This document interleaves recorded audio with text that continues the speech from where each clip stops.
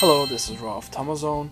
So, um, it's been a while since my last collection video. I thought I would go ahead and do an update as I've accumulated a fair sum now uh, that I can go ahead and do that.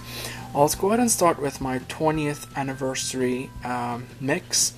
Um, I'm sure a lot of you have already seen uh, pictures and videos, and, and I'm sure most of you already have your copies anyway. So, I'm not sure if I'm going to go ahead and make a review of this at this point.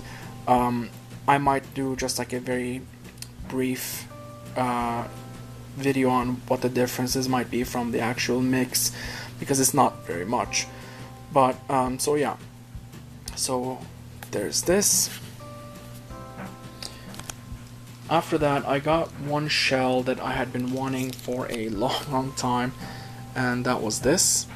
Um, I already had one of these a few years back, but I ended up selling it, and I up regretting it. So I was looking to find one for a good price. I finally located one on Yahoo Japan, and went ahead and grabbed it. Um, Uratamas really do have the most beautiful shells. Um, I think Uratamas and Akais had the best shells. Um, I don't know if you guys agree with that, but I some of my favorite shell designs have been from the Uratamas and um, Akais. So um, there's that. Next, I got this really rare um, Gigapets. It is based on the movie, uh, the 3D animated uh, cartoon A Bug's Life. These are very rare and hardly ever pop up, so when I found one for a decent price on eBay, I went and jumped on it. Um, I was thrilled to find this, and it works, and everything works just fine. The sound works, which is the most important part to me because um, sound chips on these Gigapets from the 90s were not very good, so it's always a bit of a um, you know chance, if you will, when you're buying one to see if it's actually gonna still work. But so this one does, so I was very happy about that. After that, I got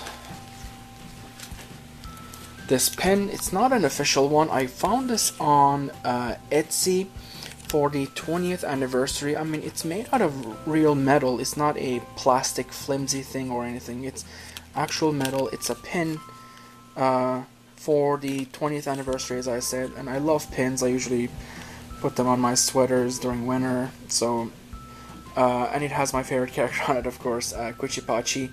So um, I thought this was great. It was like eight bucks on Etsy, I believe. So um, it's the Whimsical Club. Uh, I think if you search for that on uh, Etsy, you'll be able to uh, find it. Whimsical Boy, I think. Yeah, Whimsical Boy. So yeah, there was this, and this booklet came with it talking about uh, Tamagotchis. My Tamagotchi was there for me when I needed a friend, and that's why I will always be a friend to Tamagotchi. Yeah, it's cute, so there's some art in there as well. So there's that. After that, I got a, once again, a very uh, rare and elusive pet from the 90s. Uh, this is called the Nonbekun. And uh, the premise of this is just hilarious because, as you can see, the pet itself is in the shape of a sake bottle, and it is you basically take care of a drunk. so you take care of this drunkard, uh, give him different kinds of alcohol, and give him bar food, and take care of him that way. And he waddles and he throws up, and you know, it's it's quite quite whimsical and uh, so funny. I mean, that's that's the best word to describe it. I think it's just it's just really really funny, and so I was very happy to add this to my collection. After that, I got a very good price on uh, the Micalun and Devitan. These are um, an angel and demon pet that uh, constantly are at odds with one another. Um, I got two of them. Um, from what I know, you can go ahead and connect them. There are the connectors up top. Um, so I got the black one and this white one. So um, I was very happy to find these. Usually they go for really high prices, but I got this from Charlie's store on uh, eBay, and I paid uh, I don't know, like 30 bucks for 30 bucks, something like that. I mean, it was a really, really good price. So there's those. Next, I got this from Pamela, who recently went to Japan on a trip, and while she was there, she visited uh, the store, um, the Tamadepa, and she asked all of us, she was kind enough to ask all of us in the uh, Tamagotchi Facebook groups if we wanted anything from the store while she was there. She was to go ahead and pick it up. So I asked for a few trinkets, so she brought them back with her, and then I got it in the mail. So it came with the Tamadepa box, uh, the bag, excuse me.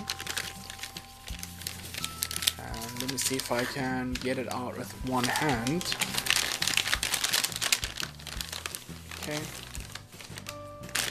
So I got this adorable little Kuchipachi plush. It's so soft and cute. Uh, it's like a little ball. That's Kuchipachi, and I love Kuchipachi. He's my favorite. So there's that. And also, I got this tiny little Kuchipachi charm. Um, I think they're or normally meant for bracelets, like charm bracelets and stuff people have. Obviously, I'm not going to wear it as that, but I'm gonna go ahead and turn it into a charm for one of my um, tamas. So there's that. And then I got this. This is the uh, Angelfish Aquarium color one. I had the color one for the dolphin. I was only missing this one. So I was very happy to go ahead and add this to my collection. Unfortunately, they never made a color one for the jellyfish. It would have been the best one in my opinion, but they just never did. So, so that was this. And then I got this Mame Goma. It came in this cute little box. Um, it is like a virtual pet where you take care of this little um, seal baby and it has a uh, mechanical part where it actually pops its head out from the water here and you interact with it through the uh, buttons so that was this and of course one I've been extremely excited about has been this Tamagotchi P station. Um, I will also be putting up an unboxing video of this and a little bit of how it's run. So um, look for that video as well. But so I was thrilled beyond words to add this to my collection. So there's that. As a last note I also got these as an early Christmas present um, they are the Giga Monsters I got the uh, Frankenstein and the Mummy. Now there is a third rare one that's uh, based after the 90s TV show called Buffy the Vampire Slayer. Um, so I'm on the lookout for that. If I find it, hopefully I'll go ahead and grab one of those as well. But for now, I have the original two. So that's about it for right now, guys. Of course, I still have um, a bunch of things on the way coming. But um, this is it from this collection. Thank you for watching. Au revoir.